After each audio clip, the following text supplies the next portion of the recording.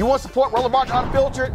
Be sure to join our Bring the Funk fan club. Every dollar that you give to us supports our daily digital show. There's only one daily digital show out here that keeps it black and keep it real as Roland Martin Unfiltered. Support the Roland Martin Unfiltered Daily Digital Show by going to RolandMartinUnfiltered.com.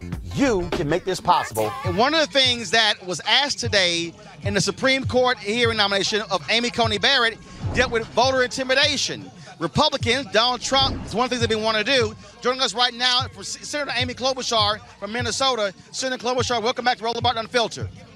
Well, thank you, Roland. It's great to be on again. I just got to ask you, how in the hell could, could Amy Coney Barrett say she wasn't sure about the issue of voter intimidation? And you were like, it's already the law. I literally could not believe it. I read for her the statute myself, and I'll read it again. Uh, she would not commit. She would not commit uh, to whether she believed in this uh, precedent and that she believed.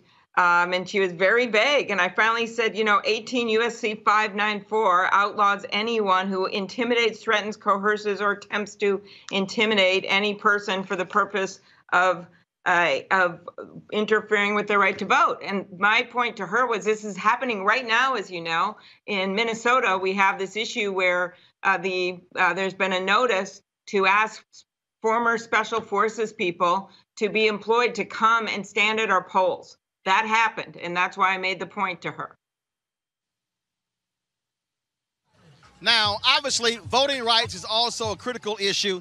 Um, is that is that actually going to come up? I know Democrats keep asking about Roe v. Wade, but the Supreme Court is also going to hear a major voting rights case out of Arizona that could gut Section 2 of the Voting Rights Act. That's something that African Americans are very concerned about as well.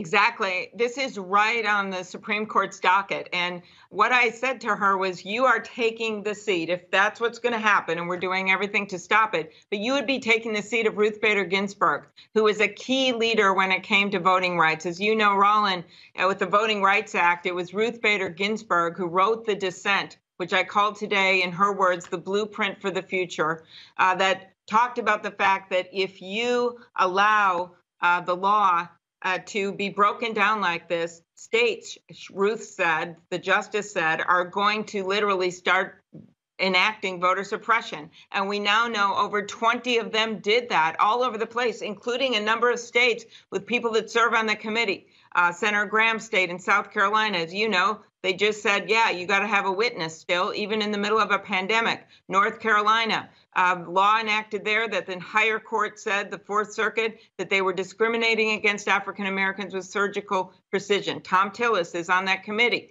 Uh, then you go down the road, Marsha Blackburn in Tennessee, they're contesting even doing ballot drop off boxes. And the final one, Texas, a county the size of Harris County, 4.7 million people. And the governor said only one drop box per county. And in every single county, one judge stepped in bravely and said, that's wrong. And just yesterday, three Trump judges reversed it.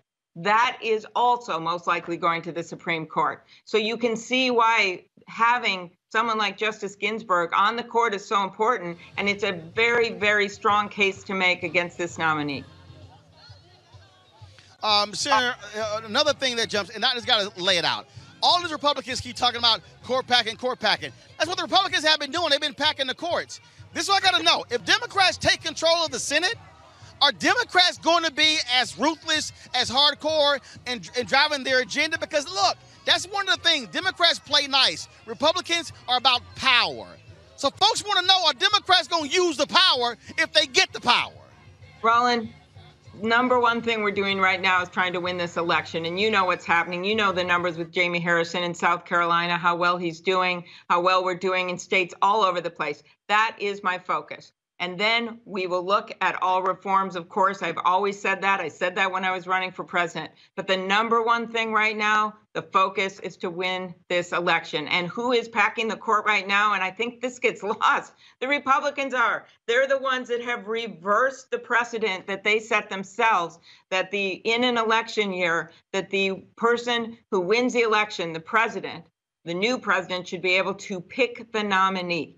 They are the ones that are packing the court right now with their disrespect for their own president, as well as precedent, as well as uh, the clear violation of the rules set by Abraham Lincoln, a man of honor, who the last time we had a justice die this close to an election, he said, we wait till after the election. All right, Senator. Uh, we got actually we got a surprise here. Uh, Cliff Albright and LaTosha Brown, they're the co-founders of Black Voters Matter. Uh, we're here at their rally uh, here in Houston, ah. and so they were going to come on next. And so, look, they all about voting. So they got a question for you. So, Cliff, go ahead. What's your question? Yeah, hey there, Senator. We're, we're all about voting, but we're also all about power. And so our question is, why is it that the Democrats in the Senate won't use everything at their disposal, all the power at their disposal, to use every parliamentary procedure they can in order to stop this nomination?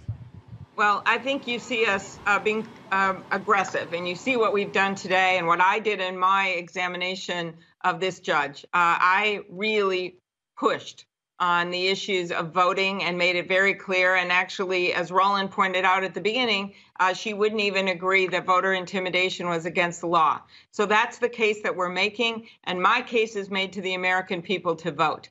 And I know that's what we share that. That's what you're doing right now. And I said earlier, we will try everything we can, and we have limited tools. We're doing everything we can. But the key is to make the case to the American people to vote. That is going to make the biggest difference, as well as calling these Republican senators, many of them up in tough races right now, um, who they're hearing from their uh, constituents that they don't want a judge like this on there who's going to throw out the Affordable Care Act. When you look at her record, every sign, as I said today, every track leads to her voting against the Affordable Care Act. Those are, when you look at how she criticized the decision upholding Obamacare, uh, when you look at everything she's done, that's where you get headed with this judge. And so I think it's our job to make that case, and that's what we've been doing instead of just business as usual at these hearings. All right, Senator Amy Klobuchar, we certainly appreciate you joining us on Roland Martin Unfiltered. Okay. Thanks a bunch. It's great to be on. Thank you. All right, folks, back to that Roland Martin Unfiltered video in just one moment.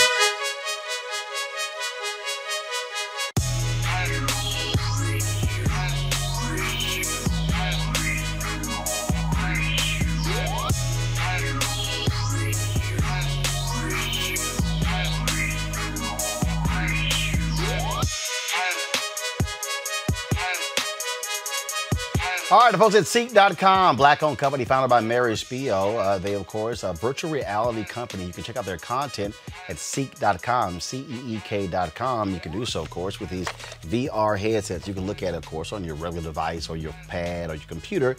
But if you want to experience being in the room, you can use this headset right here. All you simply do is just pop in your cell phone in here, pop it on, and then uh, put this headset on, and you can literally experience their content in virtual reality reality. And so uh, allows for you to do a 360 degree view uh, of the room. But also, folks, uh, you, they have the 360 degree 4D headphones right here. Uh, these are, are, Bluetooth headphones. Uh, they have complete surround sound in terms of as you hear the particular music.